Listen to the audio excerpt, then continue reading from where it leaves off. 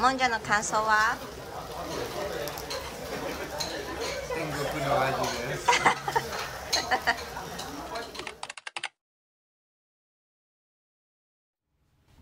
はい、こんにちは、ボンシーです。皆さんお元気ですか？今日はちょっとお友達に会いに行きます、えーどんなお友達なのかというと、日本が大好きで大好きでどうしても日本に住みたくって、その夢をとうとう実現させて日本に生活していたというお友達になります。ちょうどここで日本での生活が終わりまして、え今日は長崎県から東京の羽田空港羽田空港からもう荷物をたくさん持って、え成田空港の方まで移動してアメリカに帰るというので羽田空港に迎えに行って成田空港まで移動するのを手伝ってあげようと思います。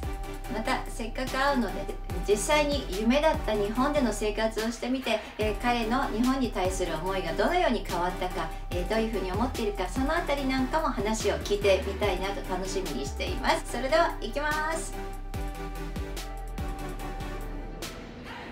いたいたいたい。た預けてた猫ちゃんの心配してる。預けてた猫ちゃんをお迎えしてます。荷物が出てきた。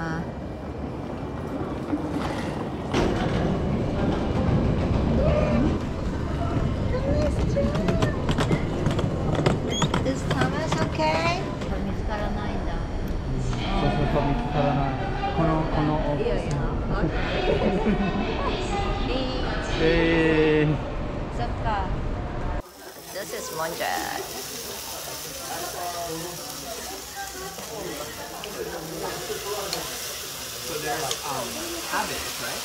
Yeah, the cabbage inside. Oh my god. I really wanted you to try this. You won't be able to find it in the States.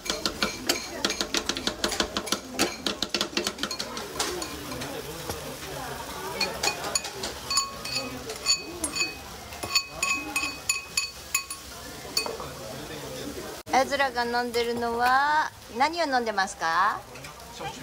焼酎芋焼酎。芋焼酎そうだ。This is the end of the Japanese life. What what was the most exciting things? I guess the, the, the most exciting pro, um, Was to be able to uh, go to shrines and temples Uh huh. and to see some of the. So in Nagasaki, there's the Kunchi festival.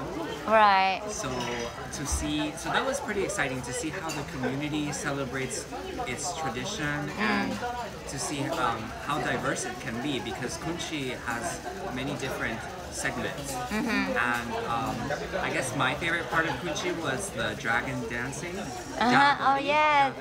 Right. Okay. もんじゃの感想は天国の味です。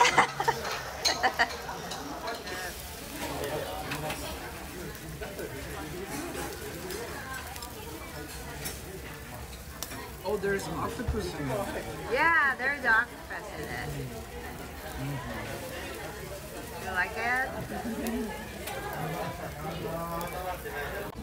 結構なんかいめっぱいよちゃくちゃ美味しい。 I know. That's what I really hope. What do you think about Japanese? What What do you like about Japanese people? What do I like about Japanese people? Yeah. So much, so much. I So love much, so much. Japanese people. うん。 So I love the respect. I love the courtesy that um, Japanese people give to each other and to me that I perceive. Um, the um, um,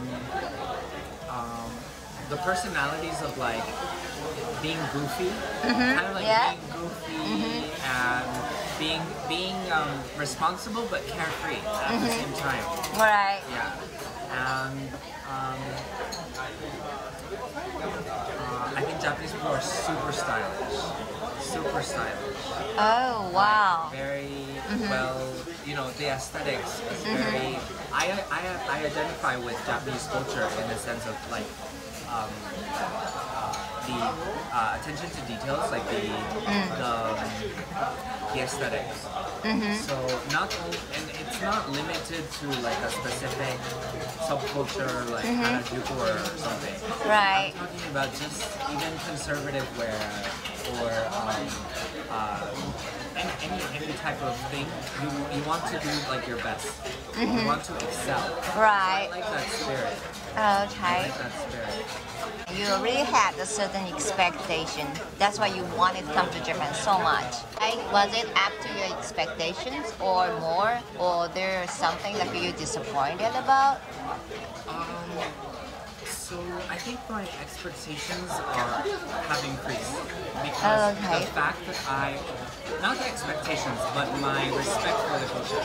Uh-huh. Because now I understand it from uh, insiders, kind of I've lived here. Mm-hmm. I was saying that I respect it more because I've lived inside of the culture a little bit, a little bit. Mm-hmm. So before maybe I didn't I didn't know that when you finish eating at a restaurant, Mm. you don't put your money on the table.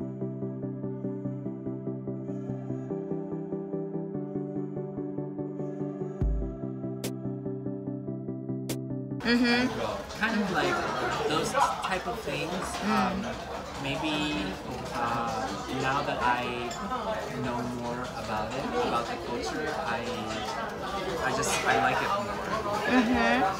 すごいよこんなこんな大きいこの日本の地下鉄で猫ちゃんとこんな大きいもの持ってるの初めて見たよ